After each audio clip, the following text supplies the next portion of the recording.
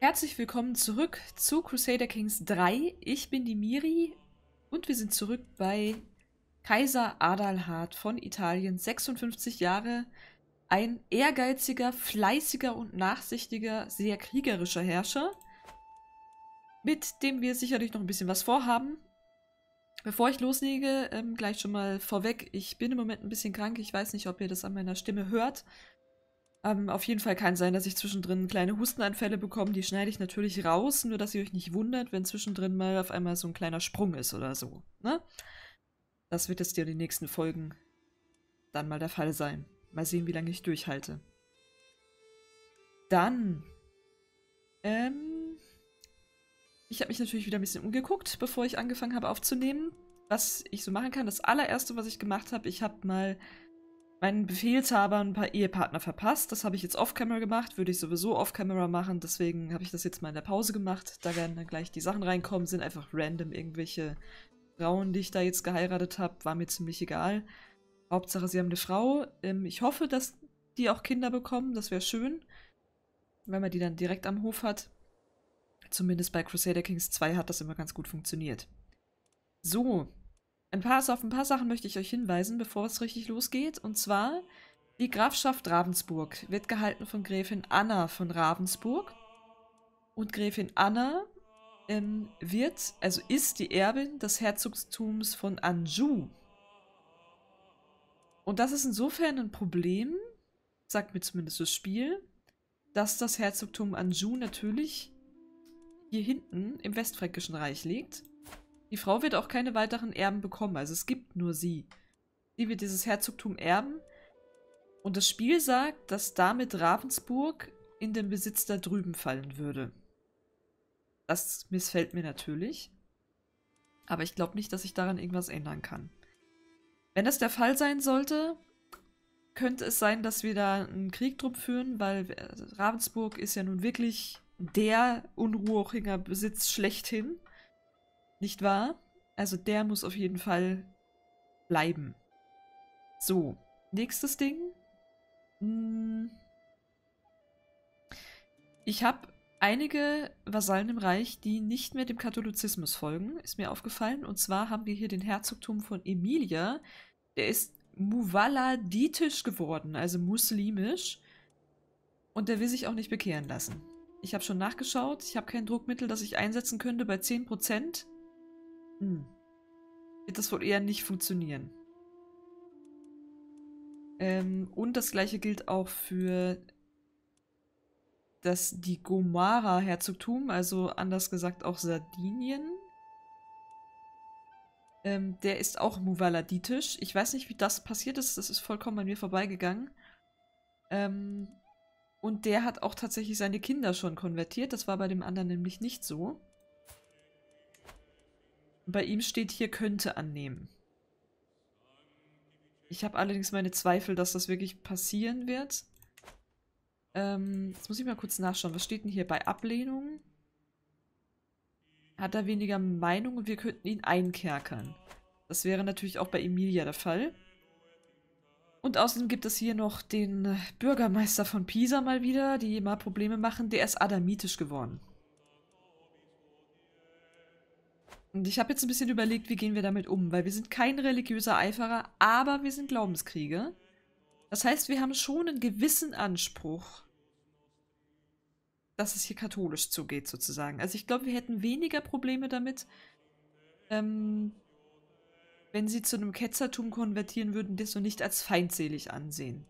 Es gibt ja auch diejenigen, die man nur als fehlgeleitet ansieht, wie jetzt die Orthodoxen. Ne? Ähm, da hätte ich jetzt nicht so ein Problem mit. Aber alles, was feindselig gilt, würde ich sagen, würde auch ein Herrscher, der nicht unbedingt religiöser Eiferer ist, das nachverfolgen. Also als normaler katholischer Herrscher, der dem Papst treu ergeben ist, und das sind wir ja, ähm, würde man natürlich darauf achten, dass es keine Ketzerei im Reich gibt. Also keine offensichtliche Ketzerei. Das heißt, wir werden uns jetzt mit ein paar Leuten anlegen. Und zwar schön der Reihe nach. Also der Herzog von Emilia hat sowieso noch gerade ein anderes Problem, aber das wird er gleich lösen. Der hat hier nämlich eine Rebellion gegen ihn. Ähm, Ich würde jetzt mal trotzdem mit Emilia anfangen. Wir versuchen die Bekehrung hier durchzusetzen. Vielleicht macht das ja auch. Ne? Wir, wir verlangen das jetzt einfach, dass er das macht. Wenn das nicht annimmt, dann wird er eingekerkert. Wenn er das nicht annimmt, dann wird er uns den Krieg erklären, dann wird er halt danach eingekerkert. Wir kennen das ja. Und dasselbe werden wir danach mit dem Herzogtum hier durchziehen und dann mit Pisa. So, dann ist mir außerdem aufgefallen, Jerusalem. Jerusalem ist nicht mehr in christlicher Hand. Ähm, es gibt zwar noch das Königreich Jerusalem, die wurden jetzt aber auf die, auf die Halbinsel Sinai hier ähm, reduziert. Das heißt, sie haben sowohl ihre ägyptischen als auch ihre Jerusalem, also ihre ähm, israelitischen Gebiete, wie nennt man die? Die. Weil da muss es doch einen Namen für geben. Naja, ihr wisst schon. Diese Gebiete halt, ne? Das, was halt eigentlich das Königreich Israel wäre. Ähm, das haben sie wieder verloren. Leider. Können wir vorstellen, dass der Papst da irgendwann wieder einen Kreuzzug gegen ausrufen wird. Ähm, da werden wir wahrscheinlich auch mit nachmachen. Wir sind schließlich ehrgeizig. Und dann gibt es noch eine weitere Sache. Und zwar der König von Böhmen. Herzog von Böhmen, nicht der König, der Herzog von Böhmen. Der ist ja reizlos, ne? Und der ist verlobt mit einer, die begriffsstutzig ist. Also ich bin mal echt gespannt. Ich weiß nicht, was das ist, ob jetzt nur eine dumme Frau so einen reizlosen Typen heiraten würde. Ich bin mir nicht so ganz sicher. Auf jeden Fall bin ich mal gespannt, was da für Kinder herauskommen. Dumm und hässlich? Man weiß es nicht. Gut. Ich löse mal die Pause. Dann gucken wir mal, was abgeht. Sein Glaube ist zu stark. Er wird sich lieber im Jenseits entlohnen lassen. Gut, dann werden wir ihn einkerkern. Das habe ich ja angekündigt. Hat er seinen Krieg beendet? Ja, hat er. Ja, dann wirst du jetzt eingekerkert. Aber wir hatten 15 Anspannung, weil wir nachsichtig sind. Hm, kann ich ihn einfach so Titel aberkennen? Das kann ich tatsächlich, weil er nämlich ein Verbrecher ist. Das ist ja eigentlich das, was wir machen. Also.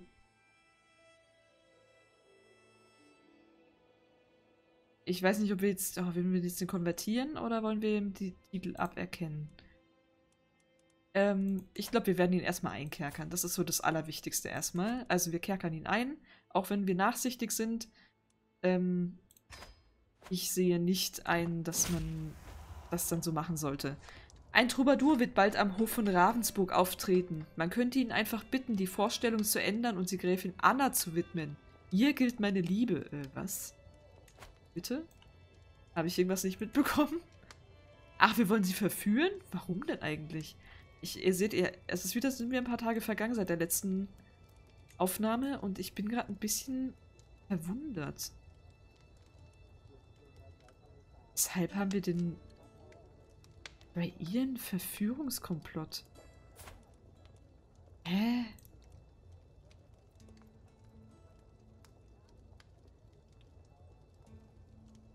Was genau wollte ich damit bezwecken?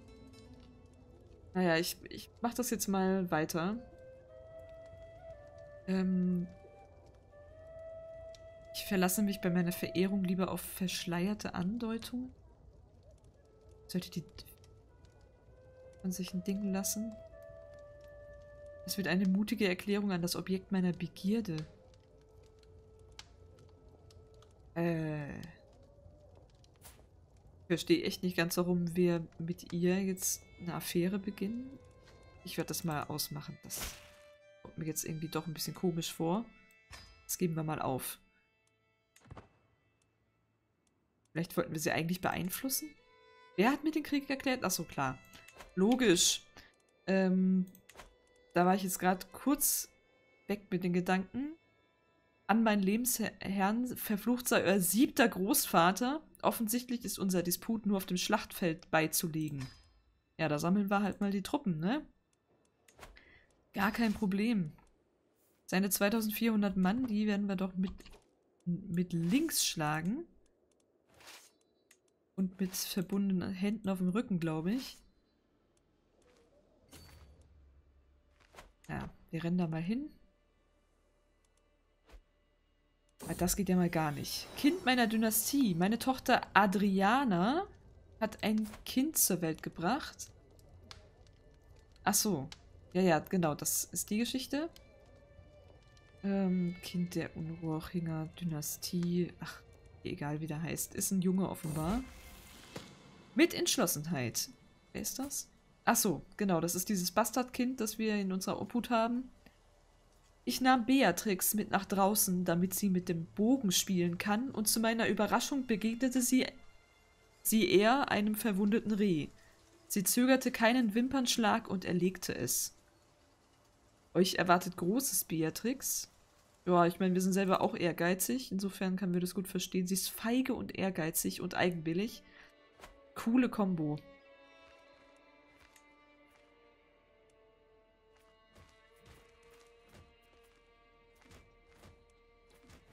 So, wir sind hier in Modena. Ich werde mal eine Belagerungstruppe hier lassen. Und mich mit denen darum kümmern. Um die Geschichte. Ähm, Belagerungstruppe. Zeig mir mal die Belagerungsarmee. Hier. Da möchte ich natürlich einen passenden Heerführer. Das sind dann wohl wir. Wir werden diese Truppe anführen. Okay, der ist stehen geblieben. Halt, da möchten wir hin. Greifen wir ihn mal an.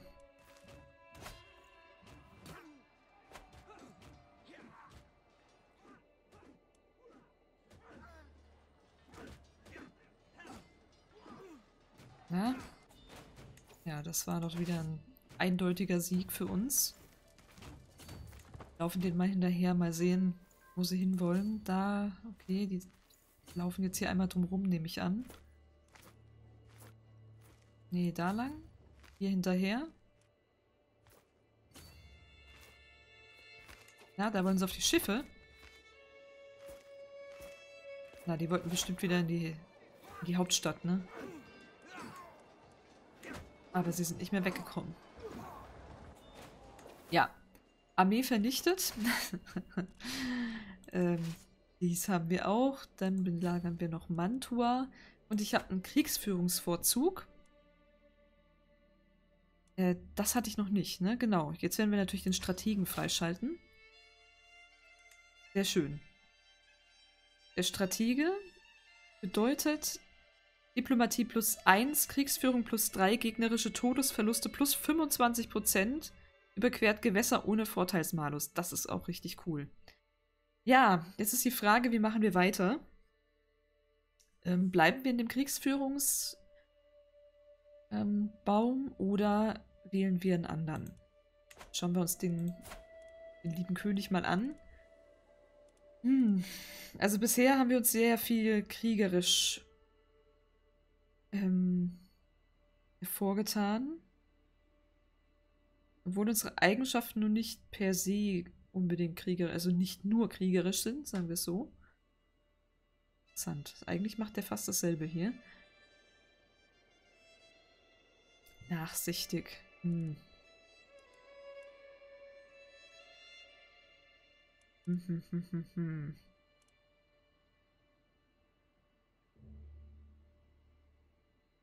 Den Kriegsführungslebenswandel zu haben, hat natürlich den Vorteil, dass man Kriegsführung plus 3 bekommt. Und je mehr Kriegsführungswert, desto mehr Aufgebote. Hm. Und Aufgebote kann man natürlich immer gut gebrauchen.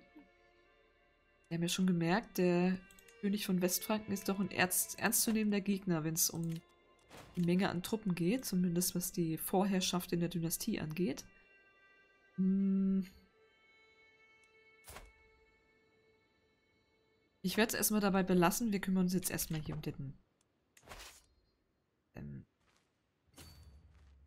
diesen Herzog. Fünf ungelesene Nachrichten. Was bitte? Das wird nicht passieren. Neapel. Wir werden das nicht verlieren. Das ist Teil unseres Reiches und was Teil unseres Reiches ist, das verschwindet nicht aus dem Reich. Ist ein bisschen komisch, dass es so immer wieder angezeigt wird, obwohl es ist ja nicht einmal passiert, ne? Seit wir diese ähm, absolute, die, die Urlehnsautorität haben. Absolut könnte ich übrigens auch machen. Wäre gar kein Problem, aber äh,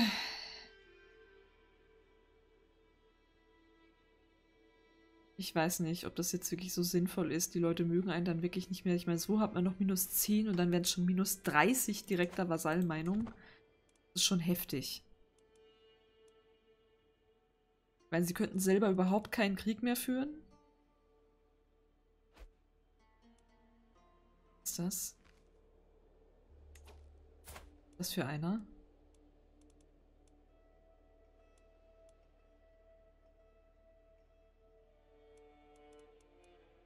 Wir? Ach, ich glaube, mit denen hatten wir ein Bündnis, oder? Ja, ja. Wir hatten mit denen ein Bündnis und jetzt haben wir offenbar mit dem Sohn ein Bündnis und das ist natürlich nicht mehr ganz so geil. Aber ich glaube, wir haben so viele Bündnisse. wir müssen uns da wirklich keine Sorgen machen.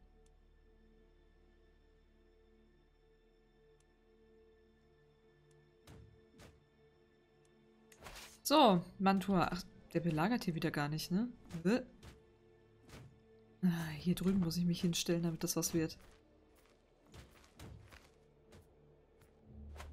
Das ist natürlich wieder richtig dämlich.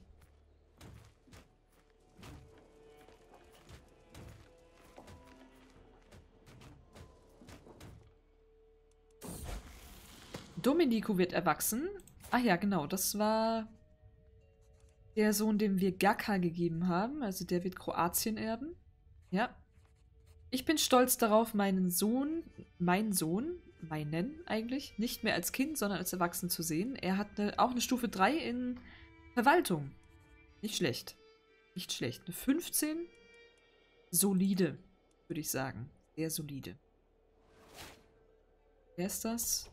Prinz Tor Tarantok Makriva von Jerusalem. Ihm gehört eine Grafschaft und der hat jetzt auch Unruhigen Gizeh geschaffen. Noch eine Nebenlinie. Sehr schön. Der Kriegerorden breitet sich aus. Wohin? Baronie von Kreilsheim. Wo ist das? Hier oben. Okay.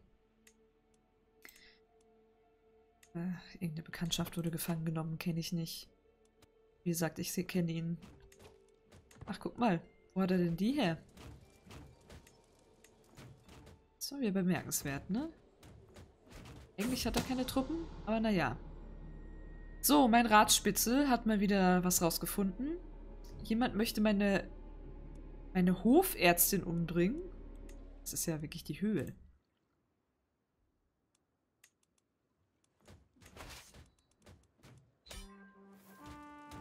Ja, so viel zum Krieg. Werden wir mal die Forderungen erzwingen. Wir erhalten 28 Schrecken. Und der Typ wird eingekerkert. So. Alle auflösen wie immer. Jetzt ist er in unserem Kerker. Mal sehen, was, was sich jetzt machen lässt. Wer ist das hier eigentlich? Anna di Ravenna. Bisher. Das macht sie in meinem Kerker. Kann ich sie freikaufen lassen? Ja. Und die hier? Was macht die in meinem Kerker? Das weiß ich auch nicht. Schon seit acht Monaten? Hm. Sagen, die lassen wir mal raus, ne? So, Erstmal gucken, ob die hier rausgehen. Ja, sehr schön. So, mein Lieber.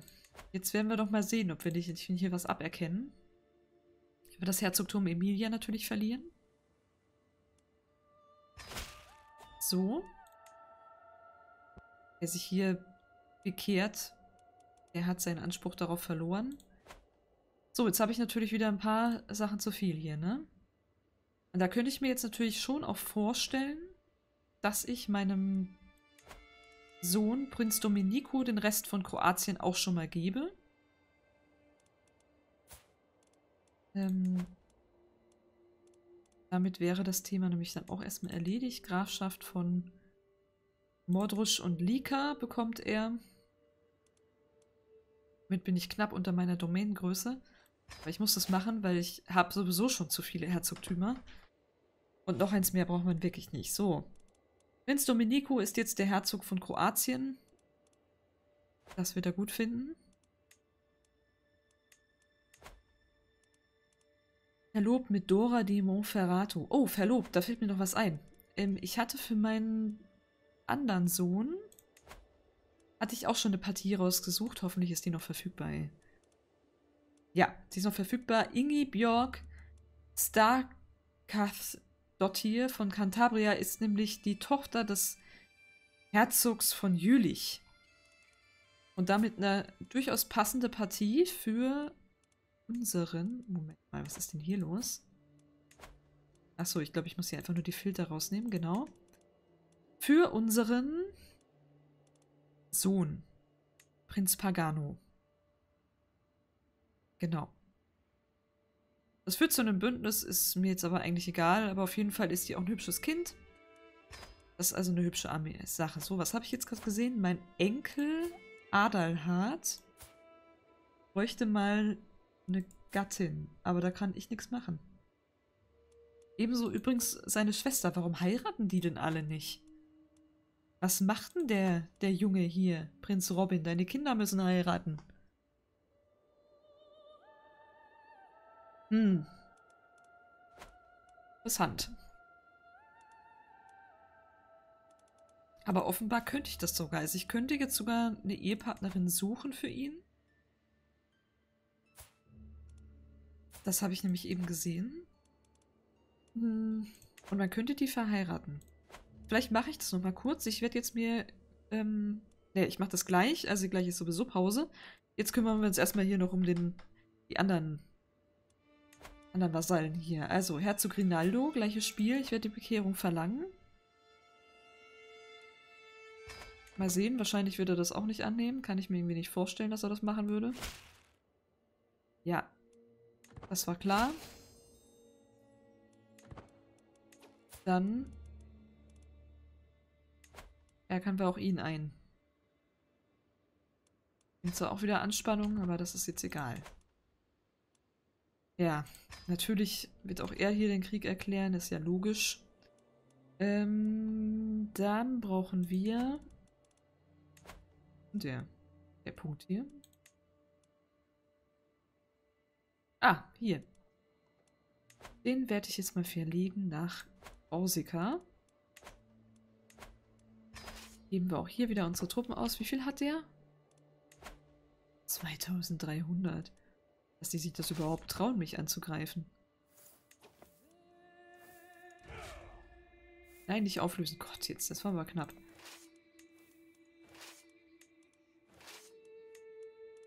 So, alles ausgehoben. Ziehen wir mal hier rüber. Okay, die gehen jetzt aufs Meer raus. Wollen abhauen.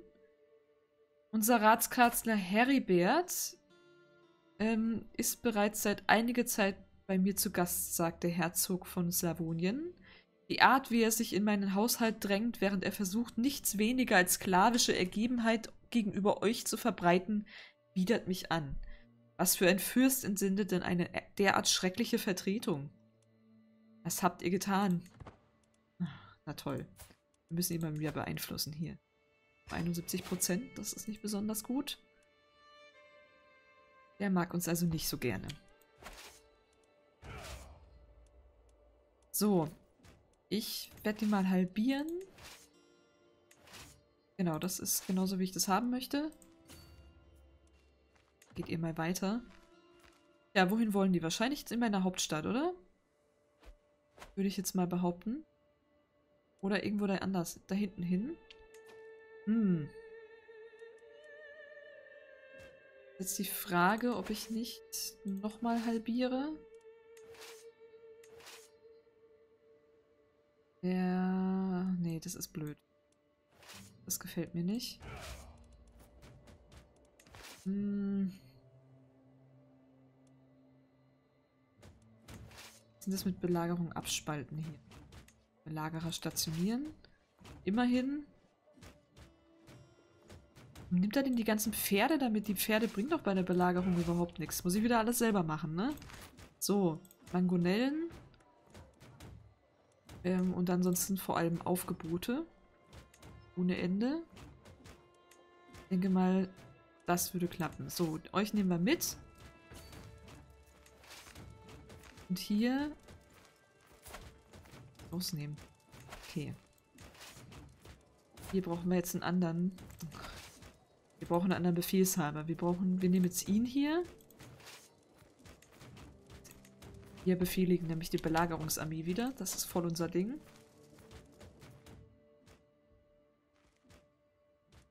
So. Und mit diesen 5000 Mann ziehen wir jetzt wiederum aufs Meer hinaus. Und zwar Richtung Hauptstadt. Ja, das haben wir schon belagert. Sehr schön. Was haben die hier gemacht? Wir belagern hier Monaco. Kriegerorden. Oh oh. Ob Kaiser oder Bauer, hochwohlgeboren oder gemein, all das spielt keine Rolle. Am Ende sind wir doch alle sterblich. Daran wurde ich erinnert, als ich in den frühen Morgenstunden hustend erwachte und mir ein dumpfer Schmerz in Kopf und Kehle pochte. Ihr scheint ein wenig unpässlich zu sein, mein Fürst. Ich kenne eine ganze Reihe von passenden Mittelchen, sagt unser Hofarzt, der den jemand umbringen möchte. Hm, also wir sind jetzt nicht tapfer. Wir machen mal nur das Nötigste. Ist jetzt ein wenig besser geworden, alles klar.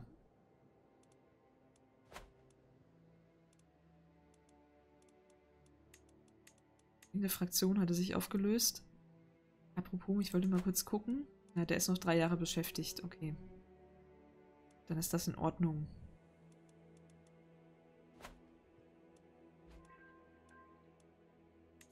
So, wir warten natürlich einen Augenblick ab, bis unser Malus verschwunden ist. Dauert noch ein paar Tage. So, und dann geht es jetzt mal Richtung Monaco. Bauen schon ab. Aber sie werden es nicht schaffen.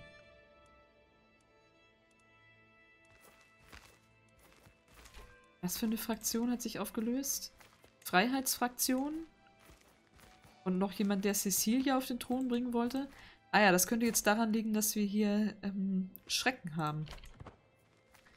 Unser Schrecken hat sich ja durch die ganze Aktion ein bisschen erhöht. Noch was, was belagert ist. Geht's hier weiter? Ja, ich glaube, die Armee also diese Schlacht werden wir auch souverän schlagen.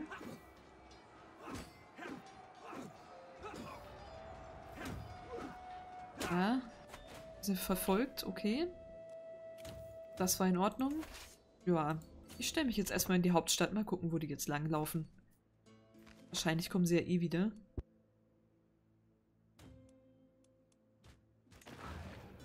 Und ich würde sagen, den Rest des Krieges sehen wir dann beim nächsten Mal. Bis dann macht's gut, eure Miri.